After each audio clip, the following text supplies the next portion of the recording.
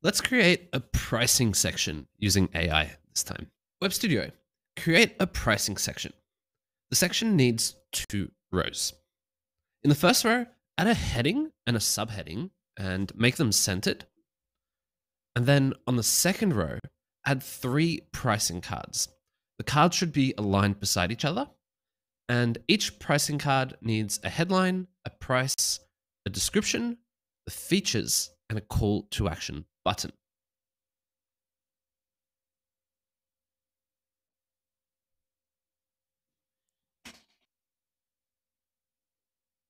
All right, good start, but a bit to clean up. So,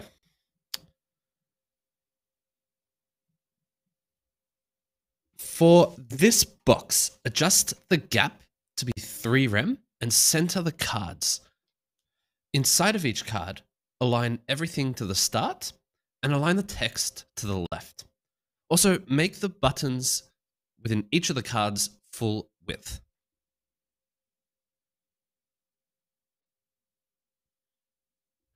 Now, for each of the cards, add 2 rem of margin above the buttons and also center the text on the buttons.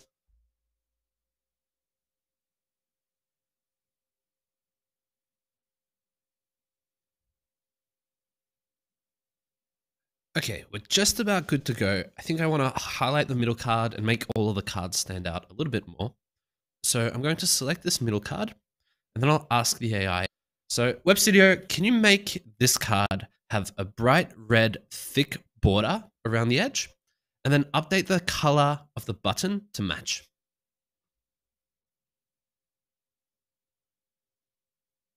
Nice.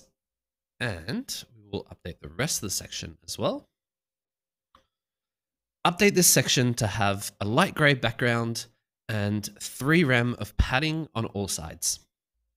Actually, also give it a 2 rem gap.